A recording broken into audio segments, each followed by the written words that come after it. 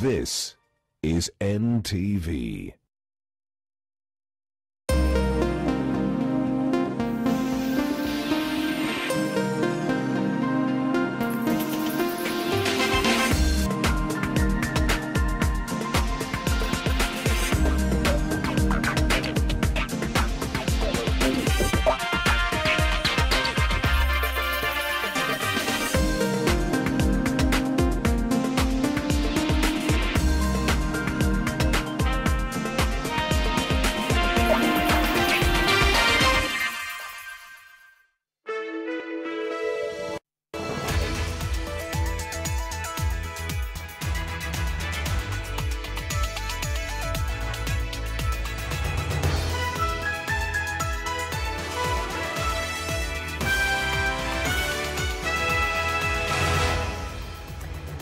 Good evening to you. Thanks for joining us on NTV tonight. I'm Smriti Vidyarthi, and these are our top stories. Tonight, The suspects are directed to the more denials. DP Ruto explains where in his office Echesa spent 23 minutes as KDF denies involvement. Mr. Rashid, Mr. Daniel, Mr. Clifford, Mr. Kennedy. Former CS released on bail. Plus, cost of polluting Lake Victoria. it was of our interest to come uh, at this point to see where the water is exiting. NTV investigates the extent of damage on toxic flow. And pest infestation continues to bite. tuko sawasawa, tuko sawa na tutafanya hii kazi kikamilifu. Government denies hiring foreign experts to combat locust invasion. Also tonight, is a person of intense interest. As an officer of government making this kind of commitment without either the knowledge of the accounting officer Health CS grilled over cancellation of multi-billion shilling tech deal.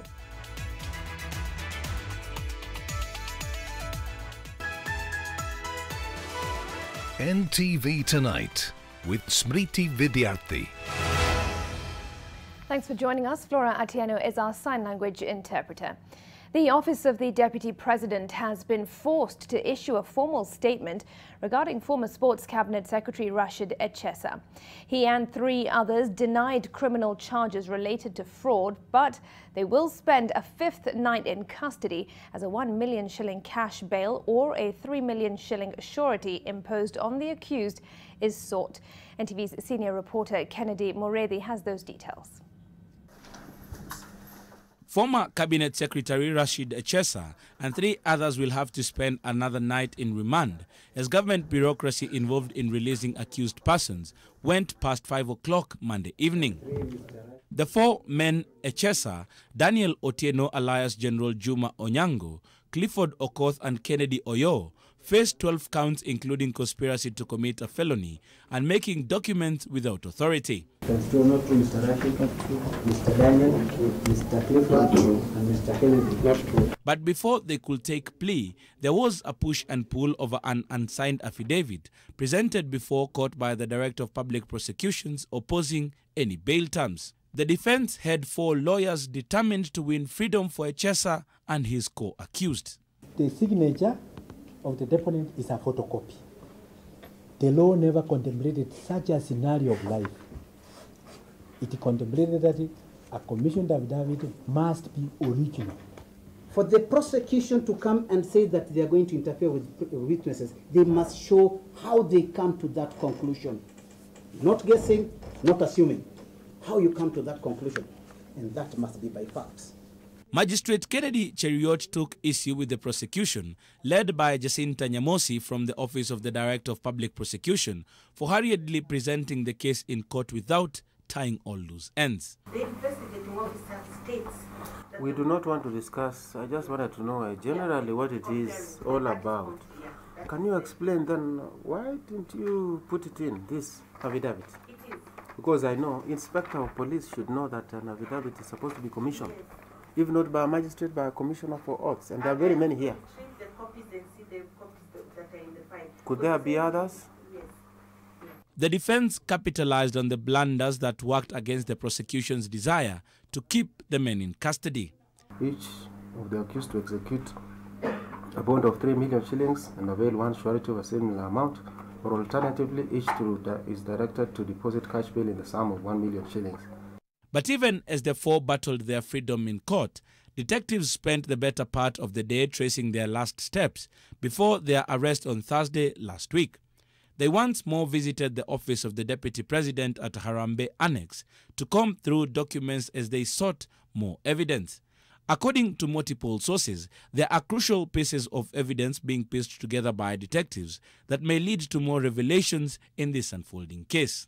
Today, the Deputy President's office was forced to write a comprehensive statement on what they know about the case, thus abandoning the Twitter approach they used on Sunday. In the 12 point communique, the Communication Secretary David Mugonyi distances officers in the DEP's office from any contact with either Echesa or his co accused, saying none of his close aides were in the office on 13 February when Echesa was arrested. He notes Chief of Staff Ken Osinde, Private Secretary Ruben Mayo, and Personal Assistant Farouk Kibet were not in Harambee House Annex on the material day, as alleged by the media. Thus, the Deputy President considers this a very serious matter involving a government office and being an issue that has recurred in many such offices once investigations expedited devoid of political and media propaganda. The Ministry of Defense has also vehemently distanced itself from the scam, saying, Today, investigators and complainants in the matter visited Ulinzi House, that is the Ministry of Defense headquarters, to ascertain the offices and officers they allegedly accessed. The statement further says, during the visit, it was established that the complainants have never interacted with any official mandated to represent the Ministry of Defense. An application by Echesa's lawyers to have a vehicle and two firearms belonging to him released was vehemently denied as the prosecution insisted that they were very crucial pieces of evidence in the ongoing case. The pre-trial has also been set for the 3rd of March. Kennedy Mureithi, NTV in Nairobi County. From one controversy to another and to the controversy around the Managed Equipment Service project at the Ministry of Health. Well, it's now taken a new turn. Outgoing Cabinet Secretary of Health, Sicily Kariuki, says the coordinator of the program, Murenga Murekwa, and other ministry officers, including the procurement officers, are to blame for the scandal. She accused them of authorizing documents contrary to legal requirement. Sicily appeared today before the Senate ad hoc committee in the ongoing inquiry into the billion shilling scandal in the health ministry. Eunice Omolo with more. to implement this. Health CS Sicily Kariuki once again appeared before the Special Senate Committee to answer questions about managed equipment service project that costs counties about 200 million Kenya shillings annually. In her submission, Kariuki claimed that officials within the ministry could have colluded with the Seven Seas technology to alter the 4.9 billion Kenya shillings contract tender documents for the Health Information System project. Chair, I, I, this, these documents had not been, come, uh, been brought to my attention. Um, Murekwa carries the title of the chairman of MES. In legal, that does not exist anywhere. He's on record on also being with the contractor in some place with documents as soon as I tabled them here to you. He's a person of intense interest. As an officer of government making this kind of commitment without either the knowledge of the accounting officer or my office. This, she says, is the reason that led to the cancellation of the Healthcare Information Technology HCIT that will have helped to link hospitals and other managed equipment services across the country. I don't know why did the ministry allow him to be signing these documents as chair of MES over the years and committing the government. And instead of actually taking action against him, he's being transferred to yeah. his parent ministry. According to Kariuki, the award of the tender to Seven Seas Technologies was signed by the head of procurement in Ministry of Health for and on behalf of the principal secretary, while the acceptance of the award by the contractor was addressed to the head of procurement contrary to the law. It should be understood, Chairperson, and I want this on record, that the likelihood of tampering with information has been one of the hallmarks around this very project. Even some of the re- letters that I'm seeing here, signed by Murekwa, that you have just availed to me, had actually been brought to me as a CS to sign. But I quickly read it and I said, This is not my work, and somebody wants me to move in a certain direction. The Senate committee also accused the ministry of not being truthful with the Office of the Attorney General in making a legal determination of the contract. One, we've shown you a document that shows that in the bid documents, the issues that the Attorney General is saying were not there are there. The biggest concern raised by the ad hoc committee following the cancellation of the contract is the likelihood of the country losing about 3.7 billion Kenya shillings in fines if the contractor can prove that the government, through the Ministry of Health, breached the agreement. Eunice Omolo, NTV, Nairobi. Elsewhere now, last night we aired a special report on the failing health of Lake Victoria, detailing how human-caused pollution is poisoning the lake's water, threatening its life and the lives of those who depend on it.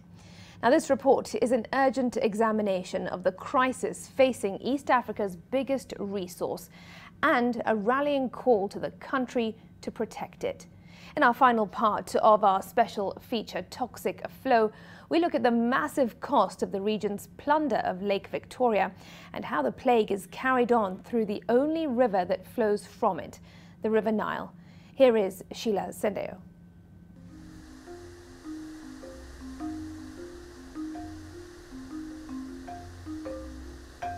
The end of the Sio River's great journey, where its waters touch the frigid northern shores of the Lake Victoria. It's a place of almost unimaginable emptiness, wild, almost ungovernable. The withering jungle glistens, impenetrable it seems, but only interrupted by the stream of water coursing past.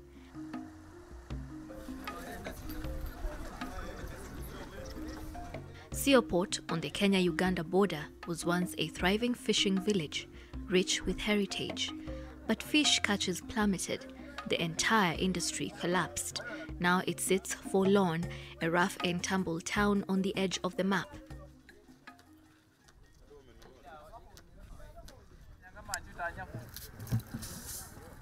Its inhabitants, like Ismail Muslim, are now riding a new wave and filling their boats with a whole new catch. Sand, a humble grain that has become an astonishingly hot and precious commodity. And River Seal brings tons of it at the place where it meets the lake. Watu wamekuwa wengi wavuvi. Tukiwa kwa uvuvi huko, sote tunatega nyavu, huyu anatega hapa, ule pale. Mapunguzi ya samaki pia ikawa kidogo, mapato kidogo. Nilipoona hivyo, nikabadilika, nikaingia kwa mchanga. Nimeshika mchanga, ndio imenisaidia hata mahali penye nipo, mchanga ndio imenifikisha hapa, ndio hata watoto nalipa kutoka kwa mchanga. Zamani hapa kulikuweko boti za kuvua na boti za kupeleka watu Uganda. So tulipoona maisha yetu sisi wengine kwa uvuvi imekuwa mbaya, ndio tukaamua as pale kwetu tukitoa mchanga hatuwezi fanikiwa, ndio tukaamua tukaunda kikosi yetu vijana, tukaanza kutoa mchanga. Omar Musa Ibrahim says pollution upstream sullied the lake and took away his livelihood. Now he too takes away from the lake as his cars for these tiny, sparkling yet seemingly insignificant particles. Factory ziko juu zaidi kushinda kwetu huko. Uchafu wote unatoka huko, unadhuru wananchi na samaki yuko baharini. Kabla kampuni zijakuwa nyingi juu, hata unaweza kunywa maji hata ile inatoka huko juu. Saa hii ukijaribu kukunywa saa hii maji, ukikunywa hivi unawaza kuhara, inaleta ugonjwa na samaki kupunguka. Ile madawa wanasafisha kampuni inaleta madawa, samaki inapungu. With just basic equipment such as shovels, they hack at the shores, the last foothold against the advancing lake. Sand mining muddies the water, killing the fish, plants, and other organisms that live there. Now the government also plans to start digging, but on a larger scale, to build on an unfinished dream by the country's first president, a bridge to connect Kenya and Uganda. But the lives of these border communities have always been intertwined. Sisi tuko na wajirani Uganda, lakini wenzetu wa Uganda ndio samaki zinato, zinazaliwa huku Kenya, alafu zisikuwa kubwa zinaondoka zinaenda Uga, lakini wenzetu hawataki sisi tuingie Uganda. Tulienda siku moja pale Uganda, watuambia nyinyi mnavua uvui mbaya, sababu mnaua samaki ndo ndogo. Ripples of dispute have often marked the relationship between the two neighbors, bound together by this vast resource. Following the creeping death of Kenya's fish industry, fishermen routinely venture into Uganda. The lucky ones return with a decent catch. The unfortunate ones encounter Uganda's military. They are incarcerated for days, weeks, or months, and their fishing gear and boats confiscated.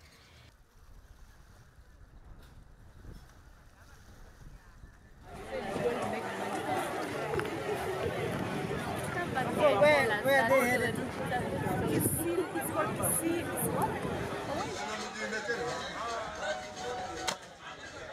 Uganda has been experiencing a frenetic growth in its fish stocks.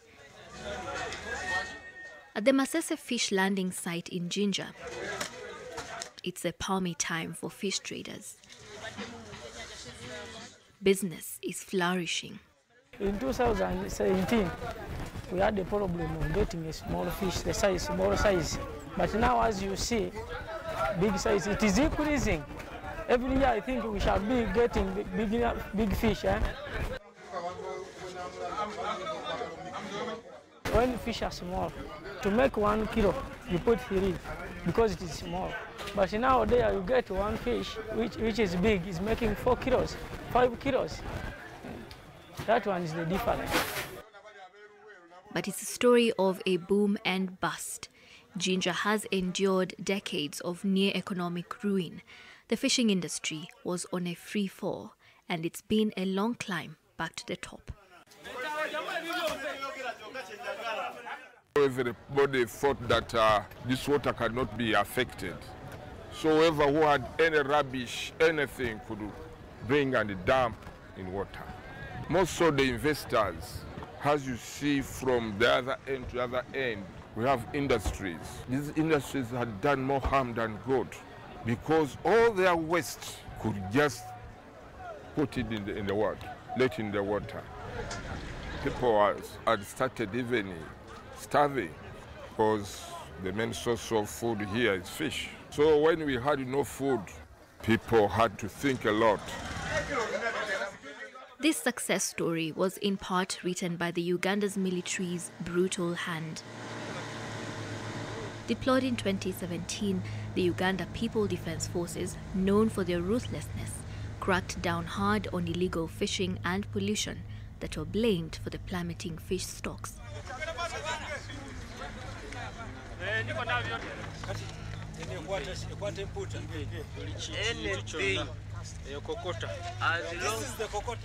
Confiscating the nets with smaller mesh, including mosquito nets that have been used to haul in even underage fish, spawning a new epidemic of overfishing.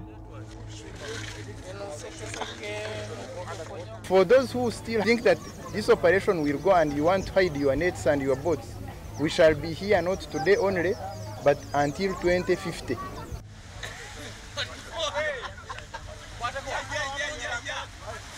But the military's intervention, though savagely violent, kept the district's maritime traditions and the fishing industry afloat.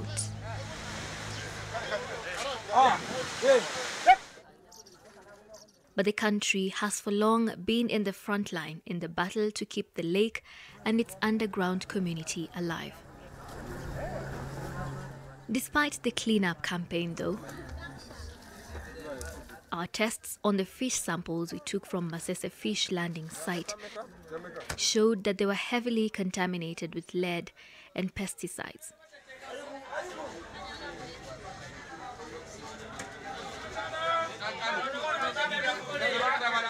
Further away from the military's might and in the capital, Kampala, a stream of slime empties into the lake undeterred.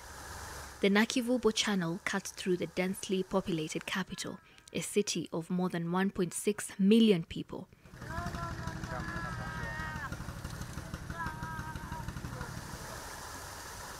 It carries into the Lake Victoria the city's rubbish and effluent that is laced with a concoction of heavy metals, including lead, copper, chromium, zinc, iron, and fluoride that are detrimental to the lake's aquatic life.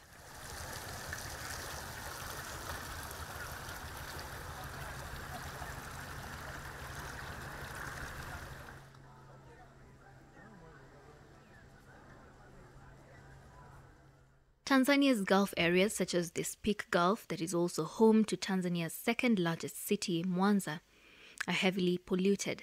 Thousands of tons of sewage and industrial waste drain into the lake daily. Agricultural runoff from the intensively farmed lake shores saturates the lake with nutrients, allowing the cancerous growth of green algae that sucks the oxygen from the water as it decays. Part of the lake can no longer support any life. But the dying lake is also a symbol of life for communities far beyond its shores.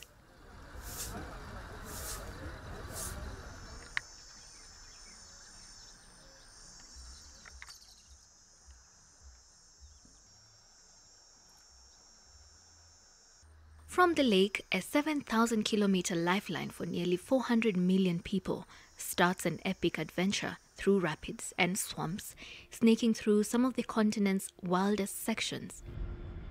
To Egypt, a country bound by desert and where this river is the only source of water.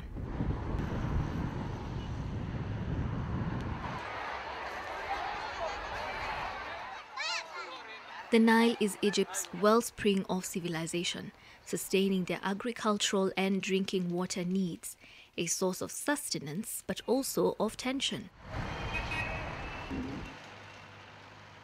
Egypt has for years sought to be the master of the Nile, seeking to tame the river's flow and exert exclusive control over its use. But upstream countries such as Kenya, Uganda, and Tanzania that share the Lake Victoria have been challenging this dominance and pushing for greater say on the use of the lake and the Nile waters. But the Nile is a river of mystery and secrets, and some of those are best kept beneath the crystal clear waters. Upstream, if you look at the dynamics of the lake, you realize that there's a little bit of uh, some contamination that one can see. It was of our interest to come uh, at this point to see where the water is exiting and understand if what we are picking up there would also be uh, seen at this point. Our tests found that the Nile waters were contaminated with heavy metals such as lead, copper, zinc, and fluoride at levels way above the safety threshold. The water is also corrupted by bacteria and a number of pesticides.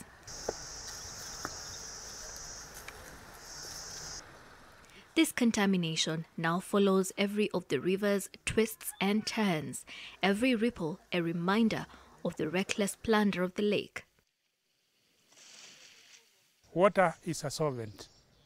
So if it has dissolved those chemicals, whatever goes out also has contaminants, and especially at the source. They may decrease as the liver flows because uh, rivers are a way of cleaning itself. By the time it goes all the way into Egypt, we don't know what could have happened. But you cannot rule out that there, won't, there are some chemicals which will not be cleaned, they will be there. This is the birthplace of the White Nile, an important tributary of the mighty River Nile, the longest river in the world. It flows from the Lake Victoria onwards to the Mediterranean Sea, providing life and nourishment to communities along its course.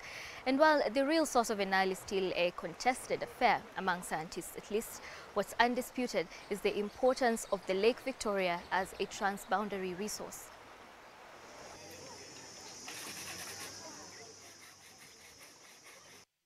Lake Victoria runs East Africa. For instance, here in Jinja or here in Masese, we have done our best. But do we know what is happening to a person in Kisumu, to a person at Mwanza, to a person in Soma, Bukoba? So it needs a joint effort. One good thing with the natural resources is that they have a way of regenerating, and water is able to regenerate. However, when we, eat, we have a lot of human uh, interference, then we are not able to, to, to have the full cycle. But it is our responsibility to take care of our waters.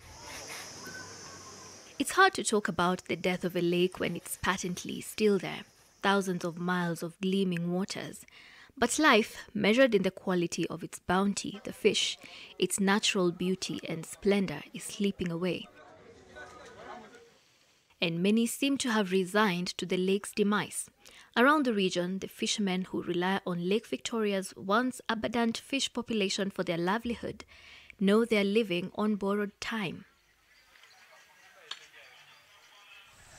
Kwanza tumekosa maji, hatutumii maji, hatukunywi maji sahii. Ni kama hii maji imebakia wanyama. Sisi tulikuwa tunakunywa tu direct. Sasa hii hatuwezekani. Na kwanza hii maji iko na chemical. Unaona? Ukienda kusimama kwa hii maji kwa dakika 45, utaona kama kama mguu yako inaanza kukata kata kidogo kidogo. Unaona? Hata samaki ambayo ikipatikana hapa kilala tu uh, one and a half day, utakuta utakuta kwamba hiyo samaki inaoza kwa haraka sana. Kitambo samaki anze kupunguka, hata mimi ninaenda hapo, lakini sasa ni niko time tu niende nipate kidogo tu, kama ninaangalia nje kumla unaona. Kama sasa hivi mimi ndio nimeanza kutoa roho yangu kwa baharini, naangalia nje. Sasa wao watapata nini?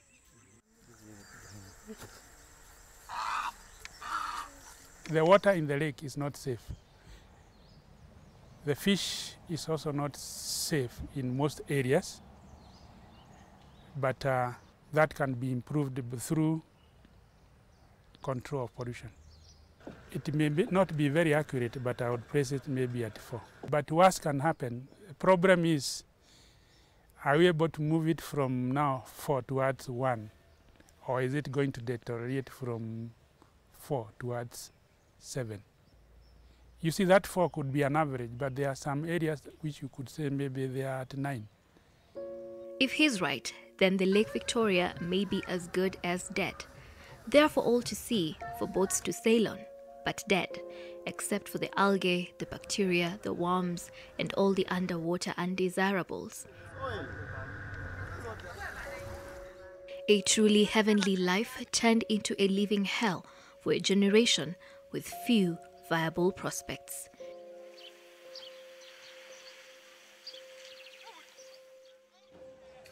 Sheila Sendeyo,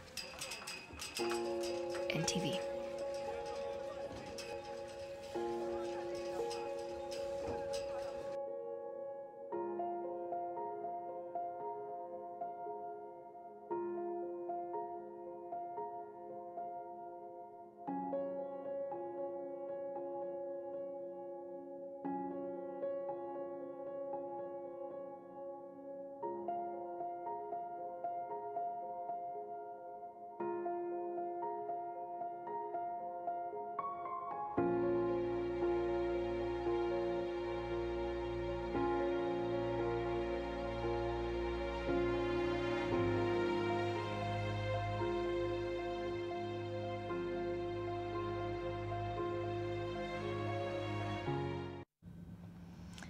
Toxic Flow there by Sheila Sendeyo and team. What a devastating reality and let's hope that somebody is listening and that something can be done. Just some feedback from you online using the hashtag Toxic Flow.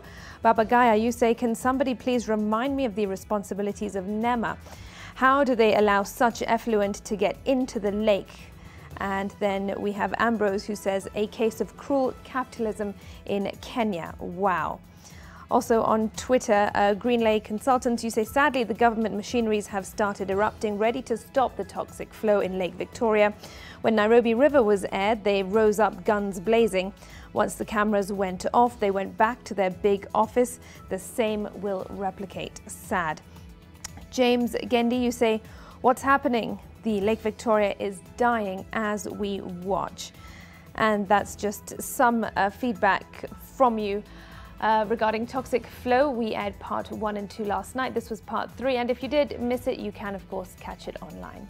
At this point, we take a breather. There's more coming up. Stay with us.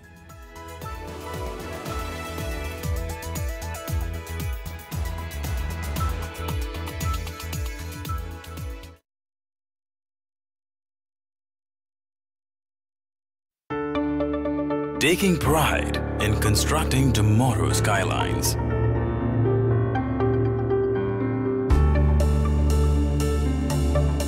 Adding strength to Kenya's landmarks. Presenting the power for specialized constructions. Cementing the nation's future. Simba Cement, the strength and pride of Kenya. Now also produced in Nakuru and Mombasa. It feel good, Coca-Cola food, Monday to Sunday. We're chasing taste. Let's just grab a bite, the excuse to drink Coca-Cola. Coca-Cola. Every single day.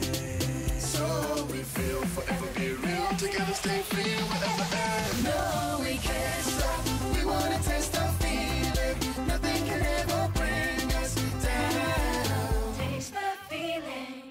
Birthday party. Birthday party.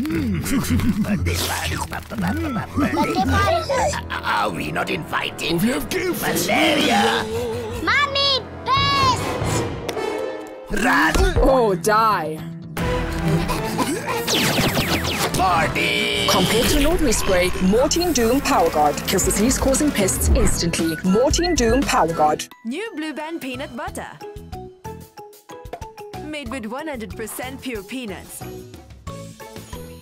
And a good source of omega 6. Grow healthy and happy kids with new Blue Band peanut butter. Your multi-bet is on its way to hit the bullseye. Oh, you lose one match, but only in Mozzart. Mozzart Refund, lose one game, get your cash back. Make a decision. Terms and conditions apply. Heaviness and a burning inside, it could be heartburn. Indigestion and heartburn? Eno gets to work in 6 seconds and works on the 6 symptoms of heartburn so you can keep living life non-stop. Eno, fight heartburn and indigestion fast. 143 Brookview presents to you the biggest deal. Buy a fully serviced 8th acre plot at 6.85 million shillings and build your dream villa. 143 Brookview in Membley is a luxury gated community on 20 acres with serviced plots and ready house designs for selection and construction at cost. It's easily accessible through the northern bypass and is in close proximity to schools, hospitals, and malls. Social amenities to include a nursery school, retail center, riverfront recreational park, and a clubhouse. So book today with only 10% and get amazing fittings for your dream villa. We welcome you to our open day on 22nd and 23rd February. SMS 143 to 20409 or call 0784 143 143. Financing available from Stanbic Bank. 143 Brookview. A development by eBoss Investments Company Limited. Hata yenye umeitisha hujamaliza. Kuna pesa yako hapa nimekunywa. Kila mtu akunywe hapa kadri ya uwezo yake, uwezo yake. If you are mine, say pneumomicroscopic silica volcanoconiosis. What on earth is that? Hey Angel, thank you for assisting me with your rubber and sharpener. I love you. Hey, Kairo. Yaani Kairo uko na mtu na mimi sina. Are you going to harm me or what? Huyu jamaa anakaa familia. Nikashamuona huku. Do you want a place to feed your mind, body, and soul? A secure place for your family? A center for quality academic goals for your kids? Call us today on 0790 300 300.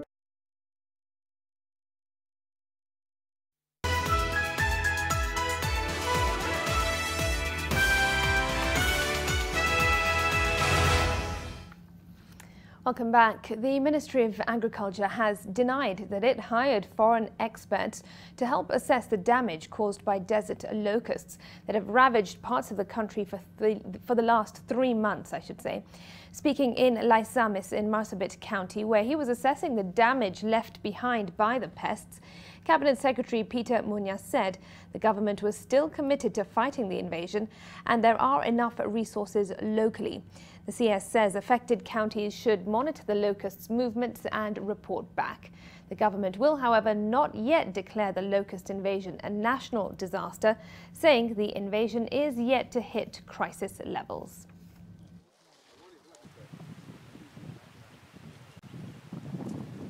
Hakuna foreigners tumeleta. I, think, I don't know who brought the idea that they we have brought in foreigners in this country. We have the expertise we need. Even the FAO people is a local office. Well, we've had unwanted visitors in Kenya over the last three months, and they flew in without a visa, settled down without permission, and began to consume our food uninvited. Now, of course, I am talking about those locusts. And tonight, Anita Nkonge takes a very close look at these insects to find out how they got here and what's been done to get them out. The last time Kenya experienced such a locust invasion was 70 years ago. According to the United Nations Food and Agriculture Organization, the current problem initially began in 2018. A series of cyclones in May and October brought heavy rains that created the ideal breeding conditions for the pests all the way in the empty quarter of the southern Arabian Peninsula. Now, desert locusts live for three months. After generation matures, they lay their eggs, which, under the right conditions, can birth a new generation up to 20 times larger than the previous one. The series of cyclones therefore enabled three generations of locusts to be bred in nine months, June 2018 to March 2019. The swarms then crossed the Red Sea into Ethiopia and Somalia, where they bred once again. Now, had Kenya not experienced the widespread rainfall last, late last year, perhaps we'd be telling a different story. But it did, and by late December last year, the first swarm of locusts arrived in Kenya. Since then, 17 counties have been affected by the swarms. These include Mandera, Wajir, Marsabit, Garissa, Isiolo, Meru, Samburu, Laikipia, Machakos, Baringo, Kitui, Embu, Muranga, Migori, Turkana, Tharaka and West Pokot. Hardest hit counties include Isiolo, Garissa, Turkana, Marsabit, and Wajir. According to the FAO, one swarm was found in Kenya, covered an area of 40 kilometers by 60 kilometers. It literally is three times as large as the landmass of Nairobi County. It also means that such a swarm could contain up to 200 billion locusts. A locust can eat about twice its own weight in food every day, which is about 2 grams. Therefore, when it comes to landmass, 75% of the country has been affected by the pests. And the locust is not yet done. Many farmers across the counties have been expressing their worries that their crops are being destroyed and livestock left with nothing to eat.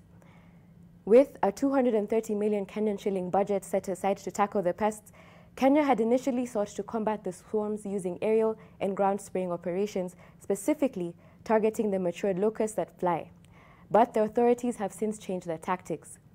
Now, not only are they spraying the flying pests, but they're now also focusing on the ground where there are nymphs.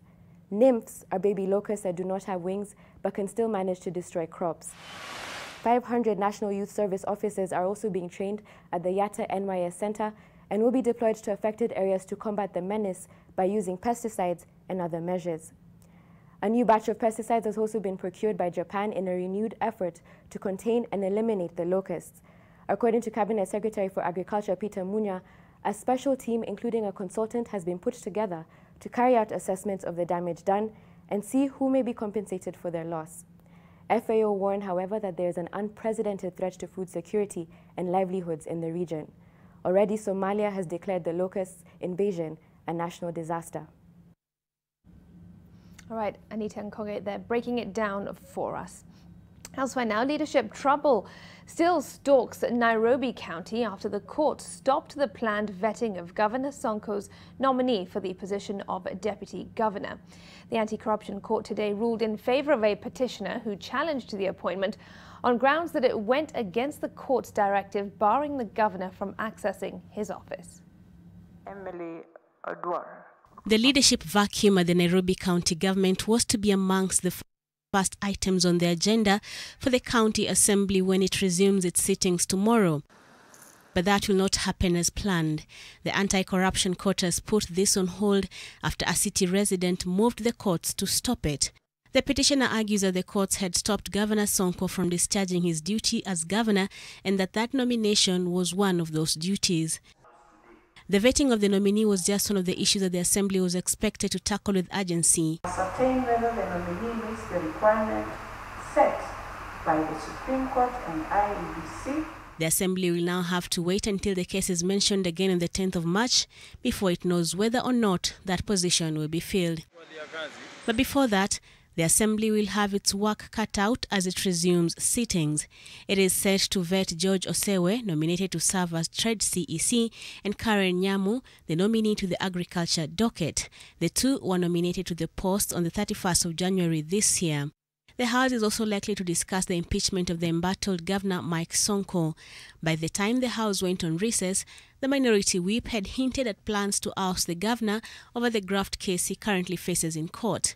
And now, with the House set to resume, the MCA says it has secured support from over 80 MCAs in this quest. The Assembly will also look into debating and passing the supplementary budget, as well as restructuring the composition of various House committees to ensure that there is balance in these committees and that the MCAs play their oversight role fairly. Brenda Wanga, NTV. Education Cabinet Secretary Professor George Magoha has warned vice chancellors against establishing satellite colleges which threaten to water down the quality of education. The CS says the law ought to be changed to accommodate university reforms. NTV's education reporter Sharon Baranga has more. Cabinet Secretary Professor George Magoha says the quality of some of the graduates being churned out of institutions of higher learning is wanting. He has advised vice chancellors to ensure they're not drawn into a competition for numbers, which threatens to compromise the quality of education. we stopped talking about numbers, but ensured that even if your elegant university produces just 10 PhDs in a year, then there are PhDs that can stand the water. Institutions of higher learning were also challenged to take up an active role in solving issues affecting communities they are part of. There are three universities around the lake, and the lake is polluted, full stop. So you ask yourself, what the hell are the universities around the lake doing? Do you get the point? Could it have been better if there were just two universities or one, which is focused, so they synergize on so many other things? Satellite campuses and duplication of programs is another matter affecting the quality of education, as well as motivation of teachers. motivate the teachers to be able to teach. Give them continuous professional development because as they are teaching, they need to get feedback. Use assessments. Education Cabinet Secretary Professor George Magoha says there are three pillars guiding his mandate at the ministry. That is to ensure the success of the competency-based curriculum, 100% transition of all Form 1s to secondary schools, and university reforms, which is dependent on whether the law will be changed to accommodate them. The ministry says transition of students from primary to secondary school now stands at 99.7%. Now that we are finished with the 100% transition, I'm going to move to the country, to the companies that are making money. For example, I shall not let Safaricom go off the hook. We are going to follow them until they sponsor some of the poor children. And we are going to follow some other companies that we also feel must give back to the society. Magoha was speaking during a meeting on International Conference on University Reforms with the theme Improving Higher Education Performance. Sharon Baranga, NTV. Right, it is time to take a quick break now, but joining me in studio is Julian Amboko. Good to have you with us, and you've got some good news for farmers. Absolutely, Smriti. You're talking about the Coffee Cherry Revolving Fund. Remember, earlier in the year, $3 billion was allocated. So Treasury has disbursed 2.7 billion, and we'll be giving you details on how this will actually be allocated to farmers right after the break on the business news.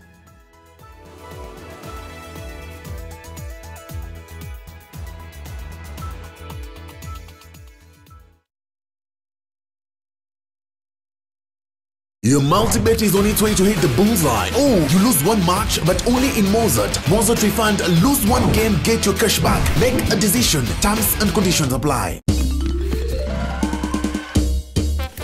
Sona moja imetengenezwa kwa njia spesheli ili kupambana na maumivu kwa haraka. Sona moja ina aspirin kama kiungo. Sona moja, kitulizo kamili. Maumivu ya kizidi pata ushauri wa daktari. Kuna mdenge fulani bibi hapo na nywele refu yani. Kuna ngoko fulani bibi amemezali yake hadi hadi hadi. Sasa jamaa ndo kutupinya mtu mbao. Mimi nimemjenga dhao. Gari ilikuwa ilikuwa salasa. Akaniambia nimjenge 17 hapa tena 30 yangu. The way this position is tiring. Nimechoka. Ni shushu fulani hapa hivi. Ati shosho. Call for long at 1 shilling 50 cents to all networks. Niangusha pale. By the way, ah, Cartelo. Dial star 544 hash to subscribe. Telkom, moving with you.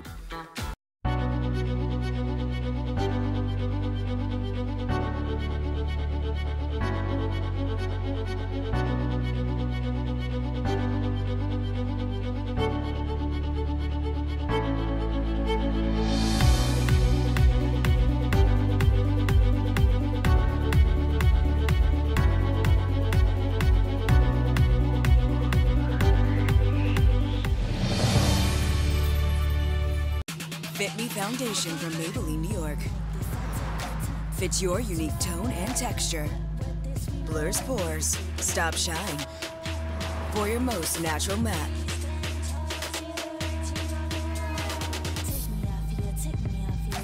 Fit Me Matte and Poreless, only from Maybelline, New York.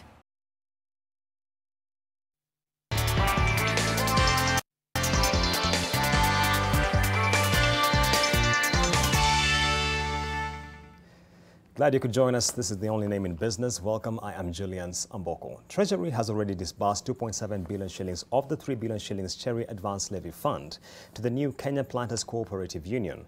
The new board says farmers should expect to start accessing funds from March 2020 rather. Lillian Kiarie with the details.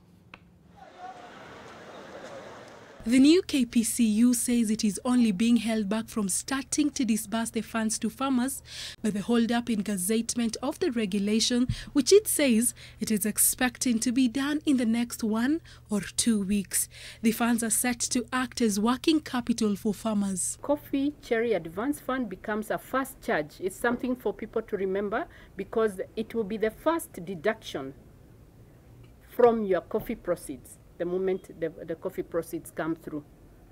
And uh, the, therefore, there will be no issue of uh, that there's a time the coffee, uh, the coffee cherry fund is not sufficient to, I mean, your price is not sufficient to cover that. KPCU has defended the move to have farmers bear an administration cost of 3% of the advanced amount.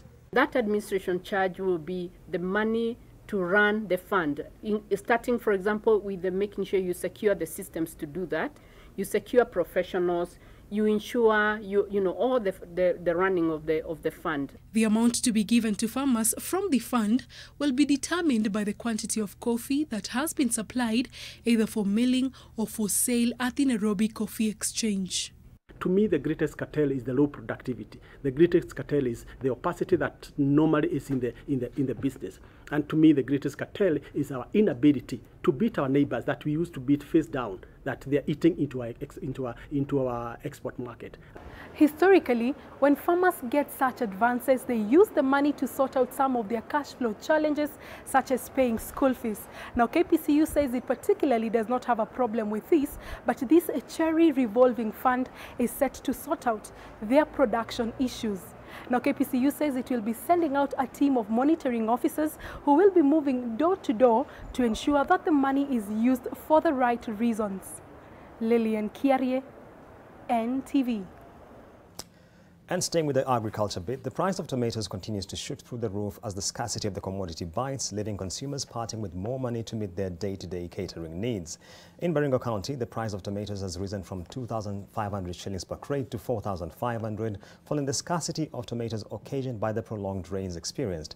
At Marigat Open Market, tomatoes are hard to come by, with the price ranging from 10 shillings to 20 shillings per tomato. Traders from as far as Nairobi and Eldoret are traveling to Baringo in search of cheaper commodities.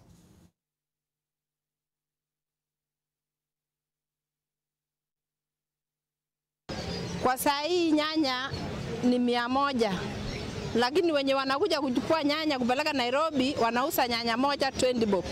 Ofi, sisi wa mama ya soko bado tunauza nyanya mingi, na ili kwa shamba tunauziwa kali. Mimi ninaweza sema ninaweza nunua inyanya, nyanya, lakini hebu fikiria mama ambako nyumbani, mama ambaye naketi kungojea Mwenyezi Mungu aangushie kitu. Ah, changamoto ile tunapitia kwa nyanya e, tunapata kwa bei kali sana, hasa wakati huu wa msimu wa mvua. And elsewhere, stakeholders in the drones industry has asked Parliament to quickly approve the draft regulations on unmanned aerial vehicles in order to allow full commercialization of the technology in the country. The stakeholders say the Kenyan market is ready for commercial drone operations, but delays in approval of the regulations have stalled the rollout of technology, which they say could have been pivotal in combating the ongoing locust invasion.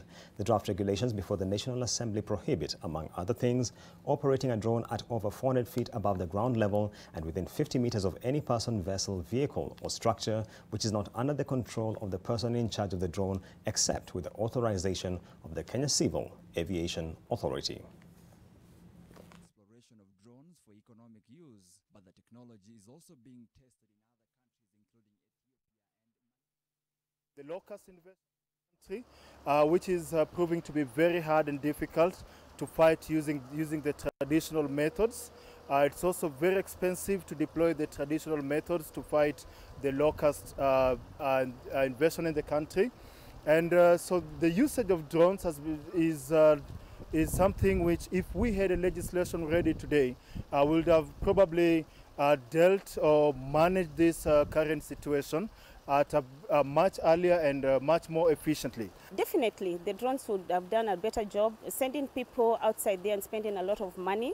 Uh, the drones would uh, will just need a drone to take like 30 minutes to sort out that issue. So I'm thinking it's a way of uh, cost cutting in most of the companies, and we are ready to train people and take them to um, higher heights for for this technology. And it's time to take a look at the capital markets in the financial report.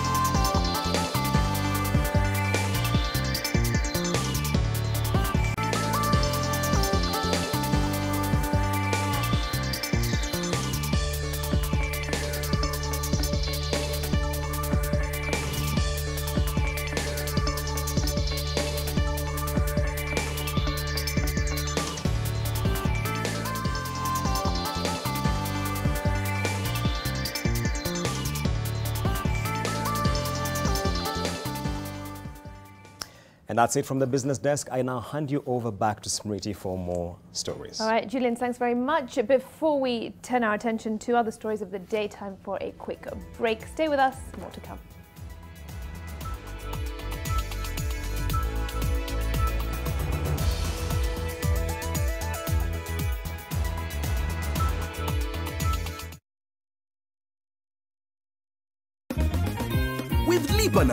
M-Pesa, you get more. And now you can win. Lipa na M-Pesa. There are surprise gifts to eight customers every minute. Tractors with extras. Lipa na M-Pesa. Plus six apartments to be given away.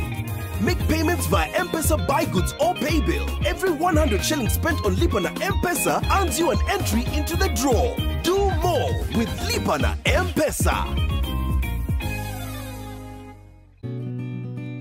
Help women find independence by training them in fish farming. It's tough on my back, joints, and can cause headaches. Panadol Extra relieves multiple types of pain.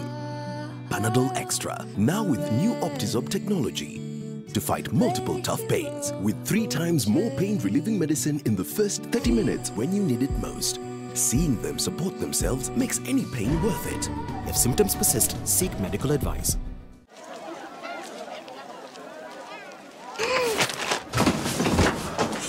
Do your gums hurt? Yeah. Does your toothpaste contain sage, eucalyptus, myrrh, chamomile? All that in one toothpaste? Yes, try Colgate Herbal. Colgate Herbal contains nature's best herbs and Colgate's fluoride technology to give you strong teeth and healthy gums. Ah, Colgate Herbal. Let's go. Colgate Herbal for strong teeth and healthy gums naturally. Prepare yourself for a new live bet experience. Top minute, boosted live bet odds. Mozzart, make a decision.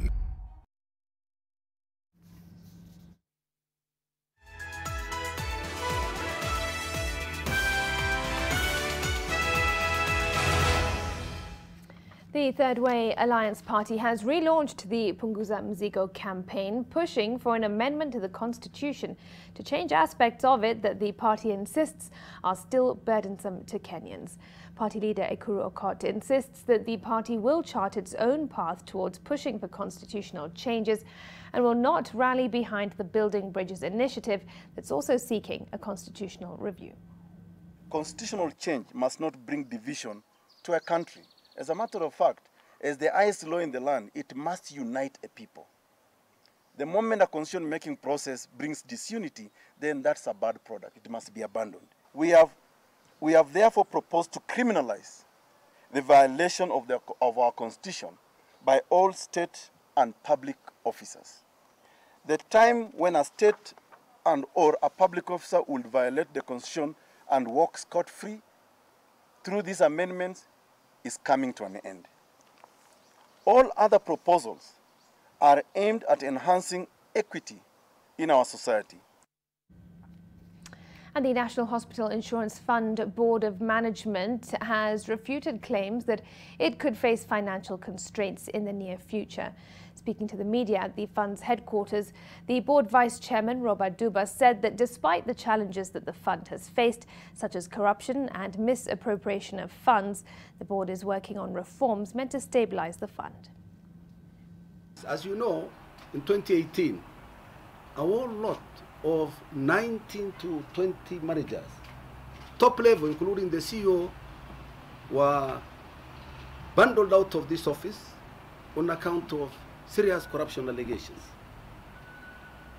Those cases are in court and they are ongoing. And it's very unfortunate that what is being recycled and recycled every morning about this fund are cases of 2012, 2013, 14, 15, 16, 17, and 18 until the last, uh, until the group were handed out, bundled out of office.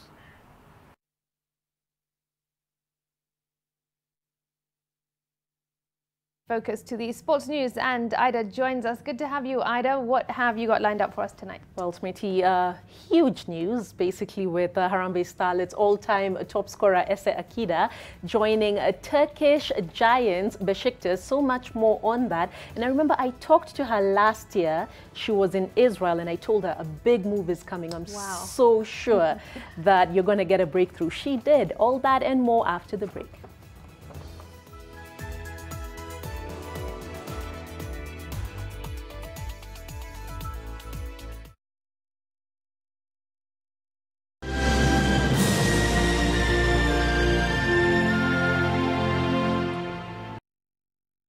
Breastfeeding tips for new mothers. Anticipate your baby's desires. You can anticipate their needs by watching for a few telltale signs. Get comfortable while nursing. The constant squirming and moving on your part can disrupt your baby's breastfeeding. Kiss Kids diapers. Kiss Kids.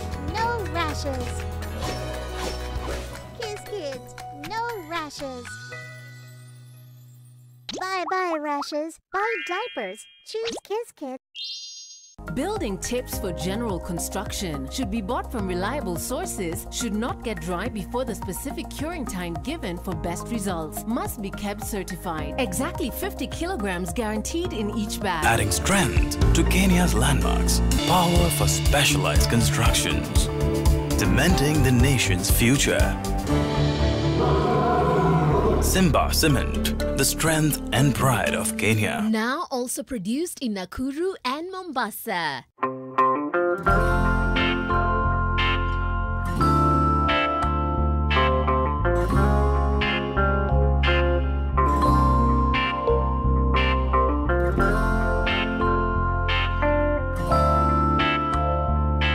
Molfix breathable surface developed with Airsoft technology is very soft and provides the best Molfix skincare. I found the best diaper for my baby's sensitive skin. All babies deserve a high quality diaper. You should also try Molfix.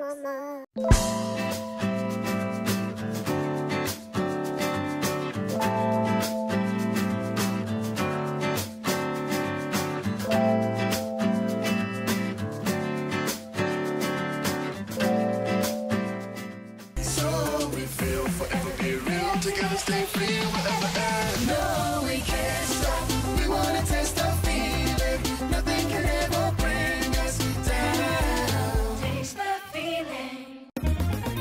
With Lipana M-Pesa, you get more. And now you can win. Lipana M-Pesa. There are surprise gifts to eight customers every minute. Tractors with extras. Lipana M-Pesa. Plus six apartments to be given away. Make payments via M-Pesa buy goods or pay bill. Every 100 shillings spent on Lipana M-Pesa earns you an entry into the draw. Do more with Lipana M-Pesa. Prepare yourself for a new live bet experience.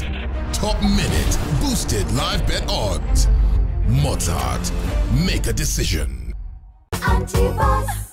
Hata yenye umeitisha hujamaliza. Kuna pesa yako hapa nimekunywa. Kila mtu akunywe hapa kadri ya uwezo ya uwezo yake. If you are mine, say pneumomicroscopic silica volcanoconiosis. What on earth is that? Hey Enjo, thank you for assisting me with your rubber and sharpener. I love you. Hey, Kairo. Yaani Kairo uko na mtu na mimi sina. Are you going to harm me or what? Huyu jamaa anakaa familia. Nikanishaimwona huku. Do you want a place to feed your mind, body, and soul? A secure place for your family? A center for quality academic goals for your kids? Call us today on 0790 300 300. NTV Sport in association with Mozzart Bet. SMS NTV to 29990. A very good evening. And uh, just as we talked about right before the break, Harambee Starlets all-time top scorer Esse Akida has completed a two-year move to Turkish giants Besiktas. Akida, who became the first Kenyan to score in the Africa Women's Cup of Nations in 2016, was previously at Israeli side FC Ramat Hasharon. The 27-year-old is poised to...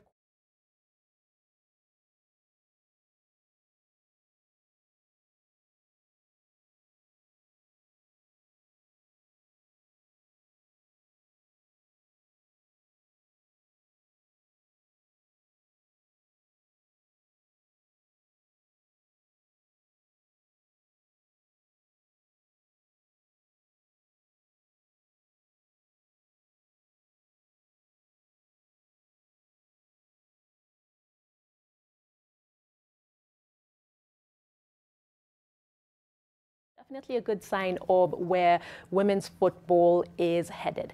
English Premier League club Everton will end their shirt sponsorship agreement with Kenyan betting firm SportPesa at the end of the 2019-20 season.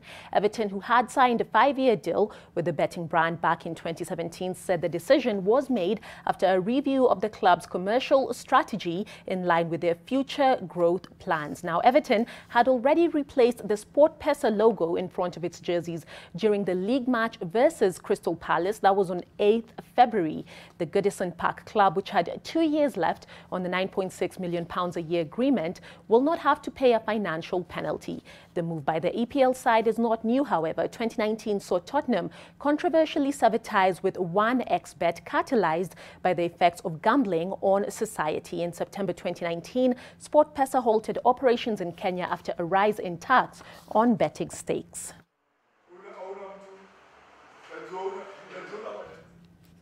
And Chelsea will be seeking vengeance on Manchester United on Monday night at the Stamford Bridge after a 4-0 thrashing in the first leg. With Chelsea's Christian Pulisic and Ruben Loftus-Cheek ruled out due to injury, Blues top scorer Tammy Abraham will have a late fitness test to assess if he will feature. Now, fresh Red Devil...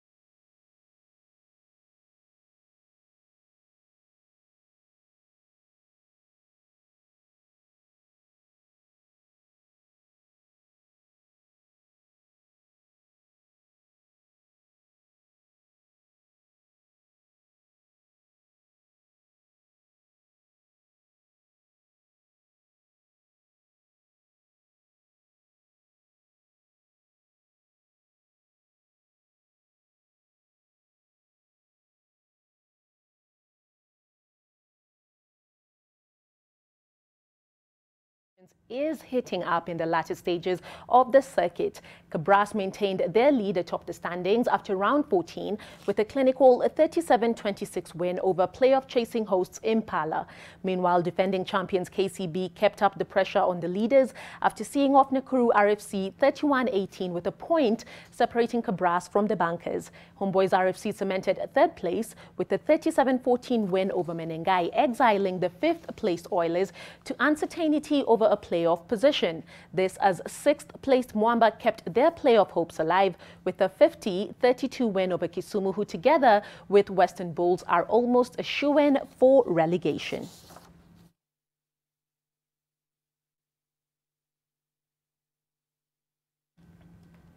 And Real Madrid reclaimed their lead in the La Liga with a 2-all draw against Celta Vigo as Inter Milan's title ambitions took a hit after being stunned 2-1 by Lazio. This as Bayern Munich got back to winning ways cruising 4-1 past FC Cologne. Details of these and more in our European football wrap.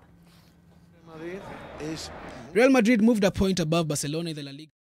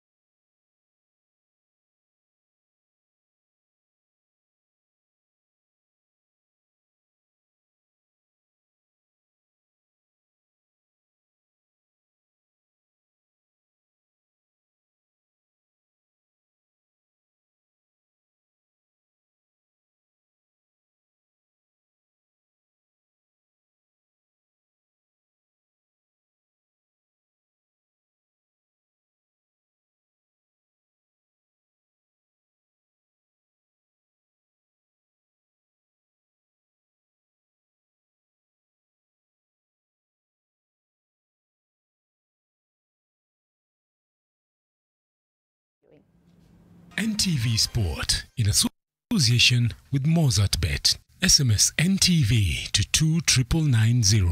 Mozzart Refund, lose one game, get your cash back. Make a decision. Terms and conditions apply. And it's just gone past 10 o'clock. That's all we have time for on NTV tonight. Thanks so much for your company. Do keep sharing your feedback, especially on toxic flow and any other stories, and we will indeed sample your views. And Flora Atiano has been our sign language interpreter. Thanks very much to her. And from the rest of the team, we say good night.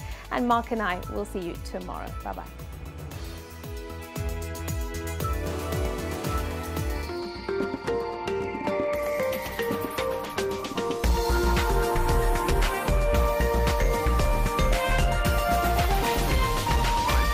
This is N.